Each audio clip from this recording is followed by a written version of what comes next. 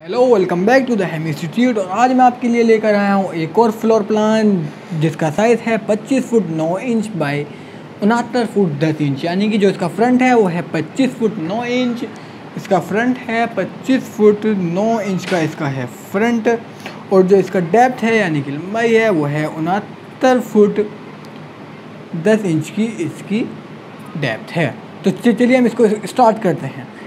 इनकी रिक्वायरमेंट है two B H K set यानी कि इसमें बनने हैं दो बेडरूम तो हमने वैसा ही कर दिया है। और इनकी रिक्वायरमेंट है कि एक बेडरूम से कनेक्ट होना चाहिए इनका स्टोर और दूसरे बेडरूम से इनके कनेक्ट होना चाहिए ड्रेस एंड टॉयलेट तो चलिए वही हमने कर दिया है। तो सबसे पहले हम यहाँ से कर लेते हैं इसमें एंटर और एंट्री करने के बाद ये जो आपको एरिया दिखाई दे रहा है, ये हमने छोड़ा है फ्रंट ओपन के लिए। हमने ये जो एरिया छोड़ा है, ये दस फुट का हमने छोड़ दिया है। और इसके बाद ये जो आपको इसको ये एरिया दिखाई दे रहा है, ये वाला। ये हमने छोड़ा है पोर्च के लिए और इसका साइज़ दिया हमने नौ फुट छः इंच बाई बाईस फुट छः इंच का हमने यहाँ पर पोर्च का साइज़ दे दिया है। यानी कि अगर आपको बाइक या कार खड़ी करनी हो तो आप यहाँ पर कर आराम से कर सकते हैं।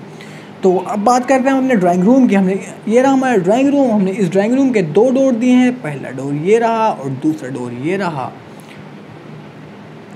यहाँ से अंदर और यहाँ से अंदर। तो हमने इस ड्राइंग रूम का साइज़ दिया है चौदह फुट साढ़े चार इंच बाय सोलह फुट का हमने इस ड्राइंग रूम का साइज़ दिया हुआ है। और अगर बात करें हम इसकी वेंटिलेशन की तो उसके लिए लगा दी हमने यहाँ से विंडो तो ताकि यहाँ से हवा आती रहे।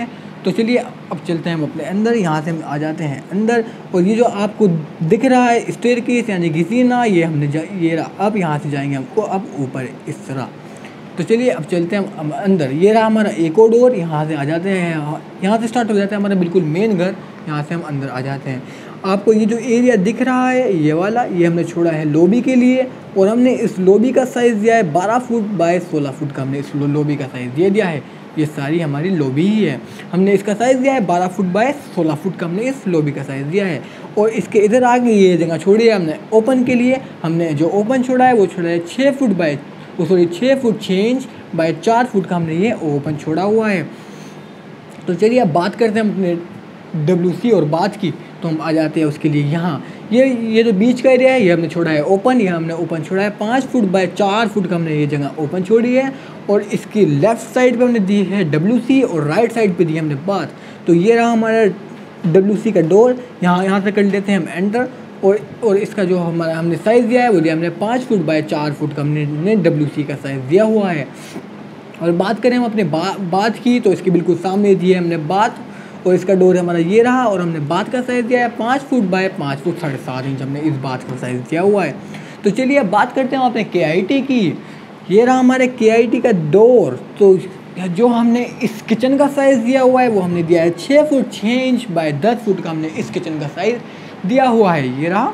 यहाँ से करते हैं हम एंटर और हमने इस किचन का साइज़ दिया है। छः फुट छः इंच यानी कि साढ़े छः फुट बाय दस फुट का हमने इस किचन का साइज़ दिया है।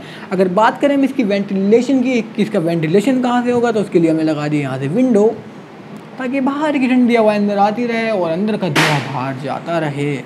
तो चलिए, अब चलते हैं हम अपने बेडरूम्स की तरफ़। हमारा पहला बेडरूम हमारा ये रहा, दूसरा बेडरूम हमारा ये रहा। पहले बेडरूम में हम यहाँ से करते हैं एंटर और एंटर एंटर करने के बाद हमने जो इस बेडरूम का साइज़ दिया हुआ है, हमने दिया है ग्यारह फुट बाय साढ़े दस फुट। ग्यारह फुट साढ़े दस इंच बाय चौदह फुट का हमने इस बेडरूम का साइज़ दिया हुआ है। और हमने इस बेडरूम में दी है तीन डोर पहली डोर हमारी ये रही, दूसरी डोर ये रही, और तीसरी डोर हमारी ये रही। पहली डोर है हमारी बेडरूम में अंदर आने के लिए, दूसरी डोर है हमारी स्टोर में जाने के लिए, और तीसरी डोर ओपन में जाने के लिए। तो चलिए, अब हम बात करते हैं इसमें स्टोर की। यहाँ से एंटर करते हैं हम स्टोर में और हमने इस स्टोर का साइज़ दिया है पाँच फुट बाय दस फुट एक इंच हमने इस स्टोर का साइज़ दिया हुआ है और इसके बराबर में ये जो जगह छोड़ी है हमने, ये छोड़ी है ओपन के लिए। अगर हमें हमें ओपन में जाना है तो उसके लिए हमने ये डोर दे दी है। ये, यहाँ से जाएँगे हम ओपन में और जो हमने इस ओपन का साइज़ दिया है वो दिया है हमने दस फुट नौ इंच बाय दस फुट एक इंच हमने इस घर में, पूरे घर में हमने दो गेट लगा दिए हैं। पहला हमारा ये मेन एंट्री है और दूसरा छोटा छोटा सा गेट हमने यहाँ भी लगा दिया है। तो पहला बेडरूम हमारा हो चुका है कंप्लीट अगर लेकिन हम इसकी बात करें वेंटिलेशन की तो उसके वेंटिलेशन के लिए ये रही हमारी विंडो डोर के बिल्कुल कुल राइट साइड में लगा दी है हमने यहाँ पर विंडो तो चलिए अब चलते हैं हम अपने दूसरे बेडरूम की तरफ़। दूसरे बेडरूम का हमारा डोर ये रहा, यहाँ से करते हैं हम दूसरे बेडरूम में एंट्री और दूसरे बेडरूम का साइज़ ये हमने 12 फुट बाय 14 फुट का हमने दूसरा बेडरूम बनाया हुआ है। और इस बेडरूम में हमने दिए हैं दो डोर पहला डोर हमारा अंदर आने के लिए और दूसरा डोर ड्रेस या टॉयलेट में जाने के लिए। हमने ड्रेस का साइज़ दिया है यहाँ पर। अगर हम ड्रेस में जाना है तो हमने इसका साइज़ दिया है सात फुट बाय चार फुट दो इंच हमने यहाँ पर ड्रेस का साइज़ दिया है। और इससे ही हमने एक और डोर दे दिया है टॉयलेट को और हमने इस टॉयलेट का साइज़ क्या दिया है? वो दिया है हमने सात फुट बाय पाँच फुट छः इंच यानी कि सात बाय साढ़े पाँच की हमने बना दी है यहाँ पर टॉयलेट। अगर हम बात करें टॉयलेट के वेंटिलेशन की तो उसके लिए लगा दी है हमने यहाँ से, ये देख सकते हैं, ये यहाँ से होगा टॉयलेट का वेंटिलेशन तो बात करते हैं हमने, हम अपने इस बेडरूम के वेंटिलेशन की, उसके लिए लगाई हमने यहाँ से विंडो ताकि बाहर की ठंडी हवाएँ अंदर आती रहे। और ये जो हमने जगह छोड़ी है, ये भी हमने दो फुट की जगह दे दी है कवर्ड के लिए। तो अगर आपका भी फ्लोर प्लान 25 बाय 70 का है तो आप हमसे कांटेक्ट कीजिए या फिर आप इससे कुछ आइडियाज़ ले सकते हैं। अगर आप इससे सेटिस्फाई नहीं हो रहे हैं आपकी रिक्वायरमेंट्स कुछ और हैं तो आप हमसे कांटेक्ट कीजिए। जो भी आपकी रिक्वायरमेंट्स होगी, हम उसको फुलफ़िल करके सेंड कर देंगे। आपको घबराने की टेंशन नहीं है।